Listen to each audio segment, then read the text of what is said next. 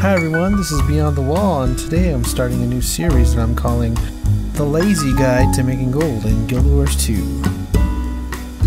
So sit back, relax, and let me show you a few ways of making gold the easy way.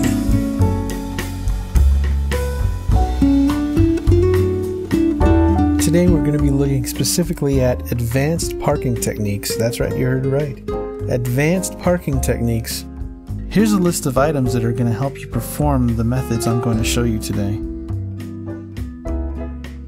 Let's first look at the prototype position rewinder.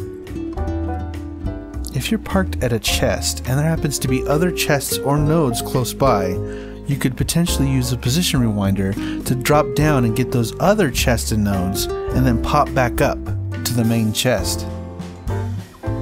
One of my favorite spots to do this is Abaddon's Ascent in Siren's Landing. Here's how it works. Put your prototype position rewinder in a shared inventory slot. That way you can switch and it'll be ready to use on multiple characters. After looting the first chest, walk up to the edge and activate the device. Then fall down to the next chest.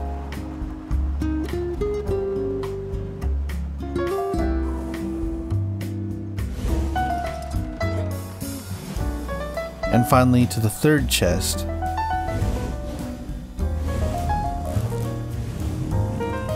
After looting the third chest, use the rewinder to port back to the top. Those extra chests and nodes will increase the amount of gold you get per parked character. One of my other favorite spots for using this method is Southsun's JP Skipping Stones.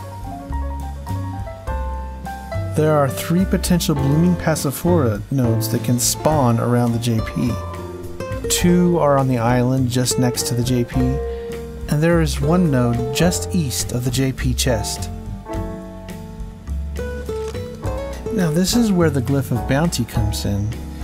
For every strike on a blooming Passiflora node, you are guaranteed to get one passion flower.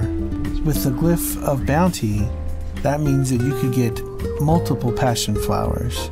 Each of these are worth typically 30 silver on the trading post.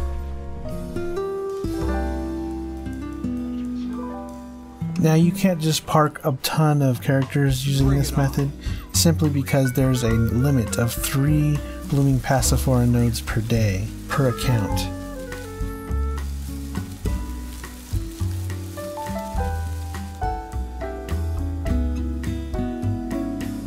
Another good spot is the Sanctum of Napka in Crystal Oasis.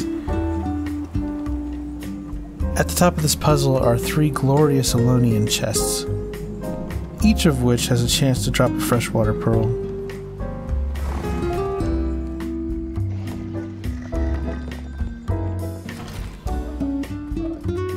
Now these chests are once per day per account, but it's still worth having one character up here. Not only can you get the three chests, but using the rewinder, you can fly around to four or five different chests on the map.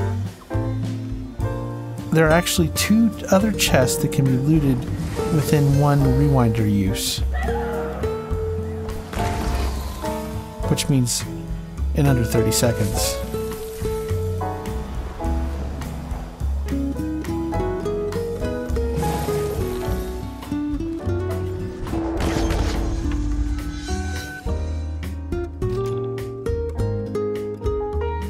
Imagine being on a high spot on a map and you have mapped out all the good nodes and chests on the map.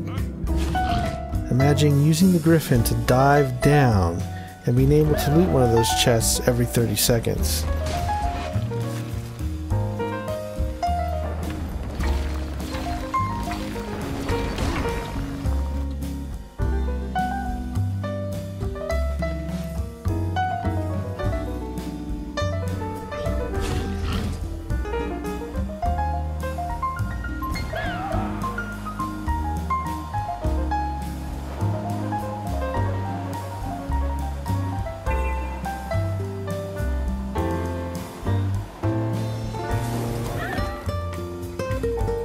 The other method I want to talk about is the added benefit of your parked character earning gold from teleporting people.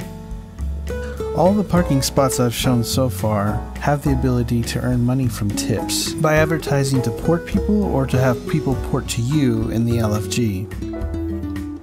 The end chest in Abaddon's Ascent JP is required for a part of the Aurora collection. The Sanctum of Nabka in Crystal Oasis, the place where I parked my character, this is a spot where people need to get to to complete the Skyscale collection. The Skipping Stones JP in Southsun also has an item required for it legendary. It is also part of the JP daily rotation. There's two other spots I want to show you. One is the Searing Ascent jumping puzzle in Draconis Mons. People need this for the Aurora collection. The other place is Coddler's Cove JP in Timberline Falls. This JP is required for the Sky Scout collection and also is a daily JP. You don't need a mesmer or a thief to be able to do this. People can use the teleport to friend to port to you instead. Just make sure when you post the LFG to state where you're parked at, what item or collection this might be for, and for the person to use a TP to friend to port to you. It doesn't hurt also to say tips appreciated at the end of that post. For many of us, the easier something is to do, the more often we'll do it and therefore the more gold we'll make. These methods aren't just for the lazy, but also for people with time constraints.